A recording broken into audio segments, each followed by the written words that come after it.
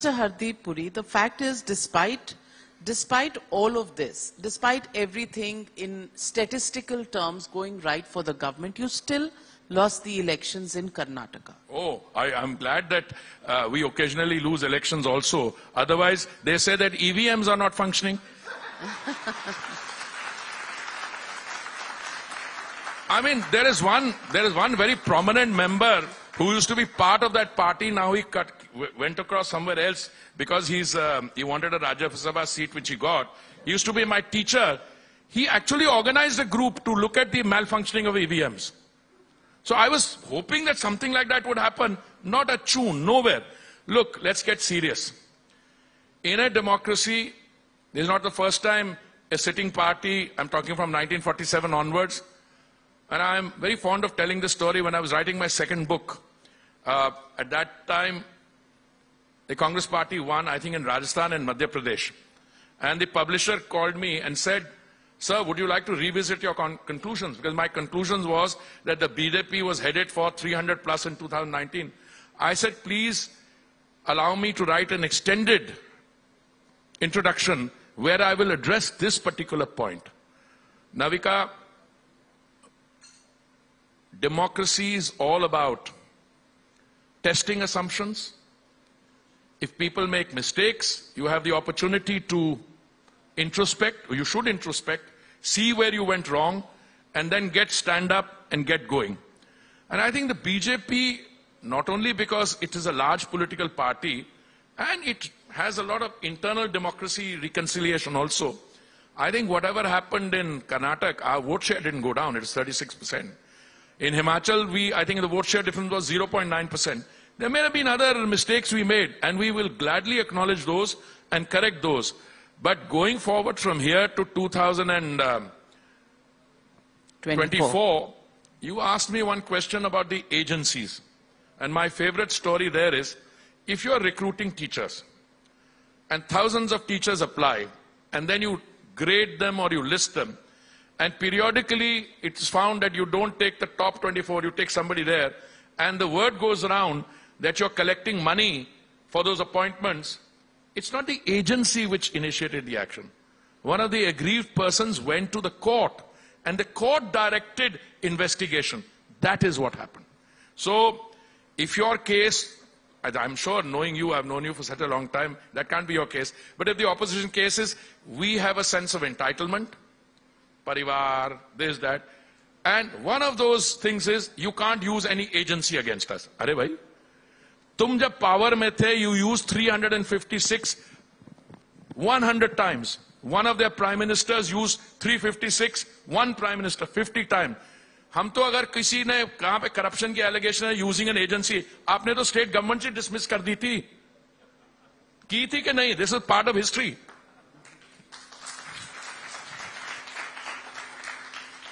Let me pick up on the point where you said that uh, ahead of the 2019 elections, you were writing a book and you predicted a 300 plus victory.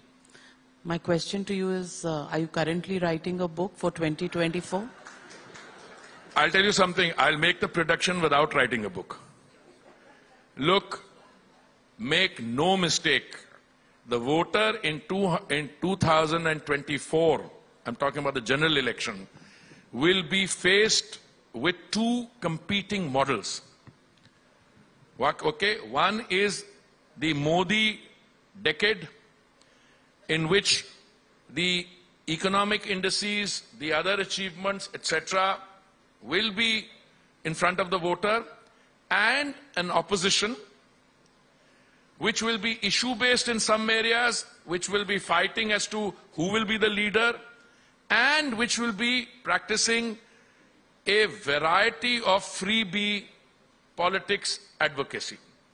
वो मैं 300 बिजली के unit free कर दूँगा, मैं वहाँ पे ये कर दूँगा, हर एक परिवार जिसमें कोई हमारी बहन है जो ग्रेजुएट है और 18 साल की आयु से ज़्यादा एक हज़ार रुपया महीना दूँगा, और दे नहीं पाए देन दे से भाई, इन्होंने तो 70 साल राज किया, हमें एक साल ही हुआ, हमें एक साल और दे दिया look Just look at the financial situation of those states.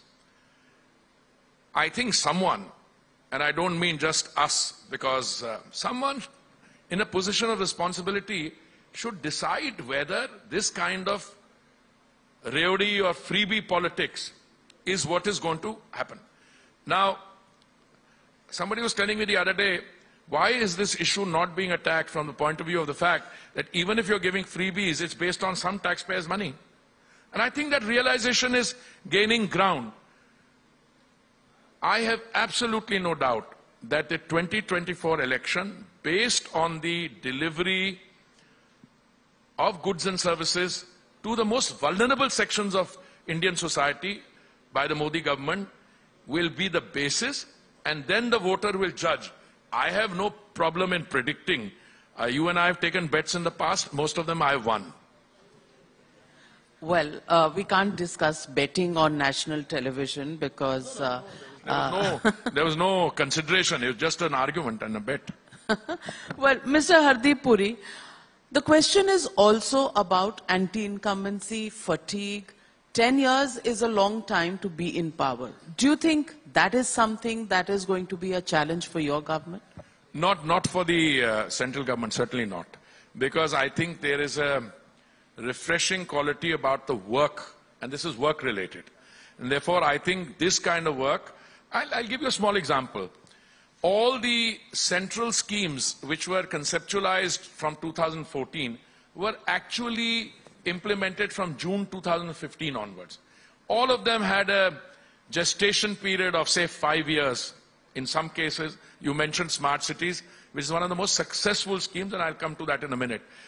But it takes five years and a little beyond. All those schemes are now maturing or have matured.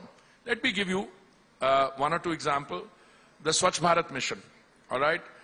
The Prime Minister said from the ramparts of the Red Fort, 14th August 2000 and 15th August 2014, that it's his dream that the best tribute we can pay to the Mahatma is to make India open defecation free by 2nd October 2019, which is 150th anniversary more or less done throughout the country. One state got, wasn't able to catch up.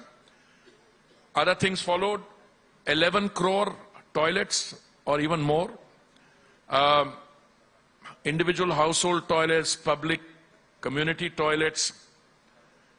Amrut scheme, where 500 cities with a population of over 1 lakh were given water tap connections, uh, sewage treatment, etc. But when those schemes finished or were nearing completion, SBM 2.0 and Amrut 2.0 were announced and they are now in full play. 4 lakh 71,000 crore provisioning, which means what was then a small urban scheme was expanded and now the whole country eh, is covered, both through the urban and rural component.